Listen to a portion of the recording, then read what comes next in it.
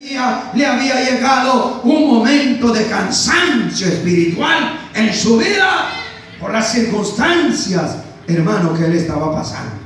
¿Cuántos alaban al Señor? Amén. Si uno se pregunta, bueno,